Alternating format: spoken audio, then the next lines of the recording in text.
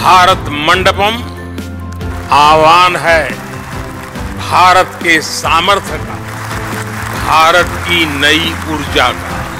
भारत मंडपम दर्शन है भारत की भव्यता का और भारत की इच्छा शक्ति का।